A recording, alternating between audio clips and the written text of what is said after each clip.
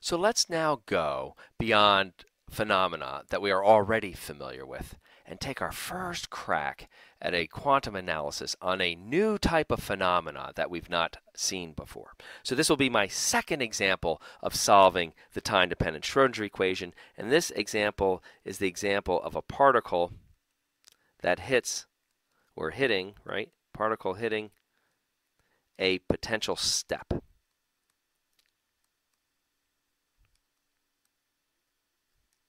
Now, by a potential step, what I mean precisely by this scenario is the following. So we could plot my potential v of x versus x, and it's not just going to be v equals 0 everywhere. I will still have that the potential is 0 when x is less than 0. So here is the point x equals 0. So my potential will be 0 down here. Let me color it in a little bit, right? So my potential looks like that here. But then as soon as I cross the position x equals 0, the potential is going to take on a new constant value. So it'll look like this over here, kind of make it a little bit thick, right, like so. And that new constant value over here, I will call uh, v sub naught. Now you'll notice when I do this, I'm really sort of dividing space into two different regions. So throughout this analysis, I will call this x less than 0, region 1, right? And over here, this other region where the potential has gone up a certain amount, I will call that region 2, and that will be for x uh, greater than 0. And now what I'm going to do is I'm going to send in a particle from the left here with a certain amount of energy. So here is the energy associated with the particle that I'll be sending in, right? So this is energy E. And now the question really is to inquire as to what a particle would do that comes in with an energy at this level into this system. So we can think about this first classically to get ourselves oriented. Then we can ponder a little bit what we would expect to find quantum mechanically. Oh, now, one last little comment before we, we go on here. You'll notice, a little technical comment, you'll notice I'm drawing a discontinuous function. But my claim is, and, and you've heard this before from me, right, is that in physics there are really no true discontinuities. So when I draw a potential like this, what I'm actually talking about in terms of, you know, mathematical rigor is that I'm really talking about a continuous function. So I should kind of color it in with a little bit of curvature here, right? It comes up very steep, very steeply like so. And so my idea, though, when I draw it as a discontinuous function, is what I'm really saying is that the, the distance over which this is smoothed over is smaller than any of the relevant length scales in the problem. So I'm going to leave you guys to ponder a little bit what that relevant length scale might be for this particular problem. And I, I want to leave that as a little bit of a, a, an unknown, a little mystery, a little challenge for you. Because coming up in a few lectures, we're going to see where we are going to run into an, a paradox, or really an apparent paradox. And the resolution to that paradox will be that we actually violated this condition, that we will be thinking about a step that is rounded over, but not more sharply than the relevant length scale. So we'll just let that, you know, kind of kind of settle in. A little a teaser for you for future lectures. Okay, so aside from that little technical point, we wanted to think about what we can expect to happen classically in this case. So the way, you know, classically we would analyze this is we would make a trajectory. So we would solve for the position of my particle as a function of time t, right? Here will be my time axis. And what I'm doing is I'm sending my particle in with a given amount of energy, which also equals its kinetic energy over here because the potential is zero. So it'll have a certain velocity.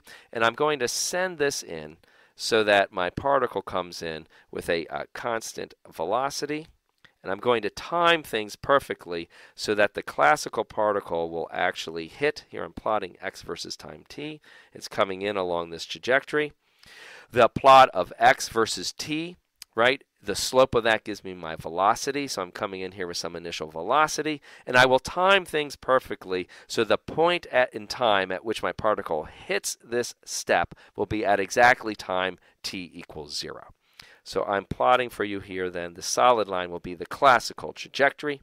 We will think about the quantum case in just a moment. So the classical trajectory then will be this solid line. Now, what happens when we hit this uh, potential step? Well, if you think about it a little bit, you will notice that the potential here is greater than the energy. So the classical particle actually does not have enough energy to exist over in this region. If you want to think again classically, we can see it mathematically this way. Classically, the energy, of course, is always the kinetic, p squared over 2m plus the potential. And so the uh, kinetic energy is always equal to the total energy minus the potential.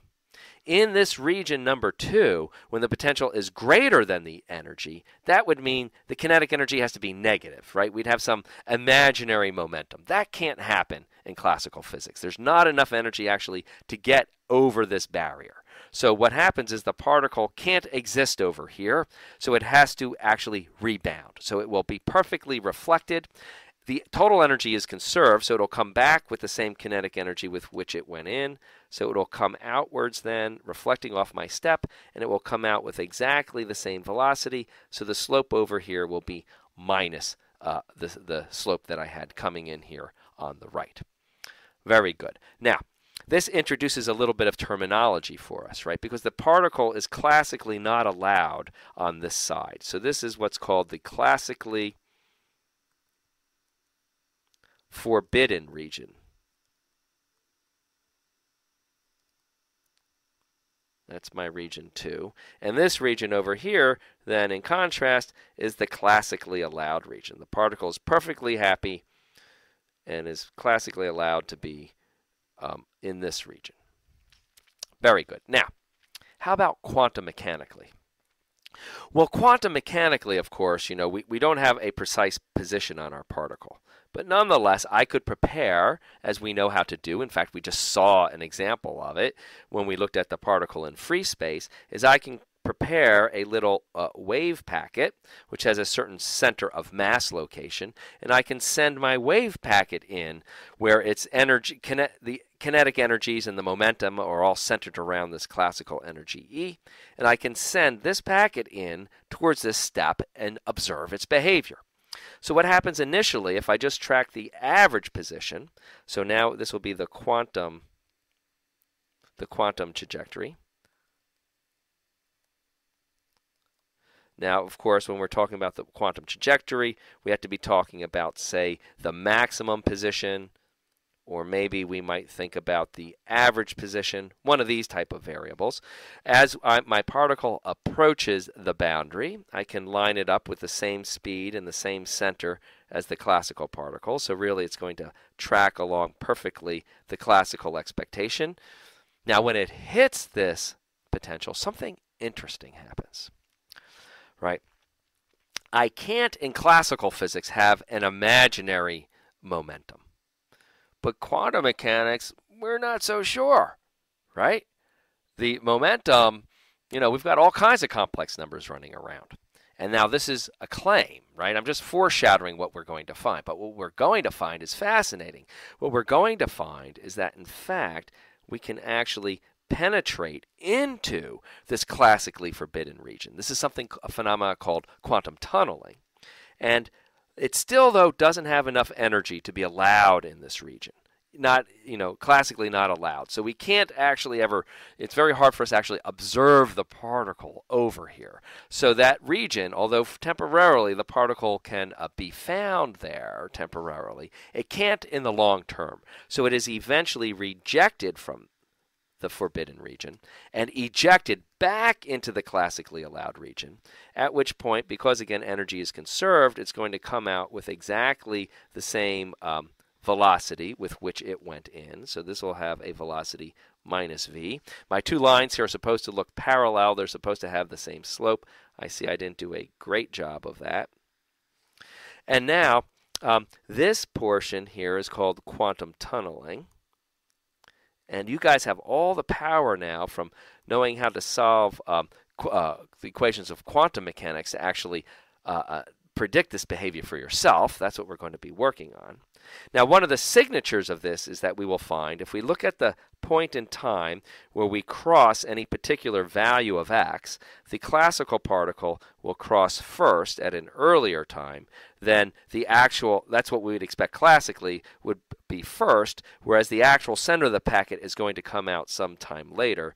And so we can characterize this fact that we've quantum tunneled into here as a delay.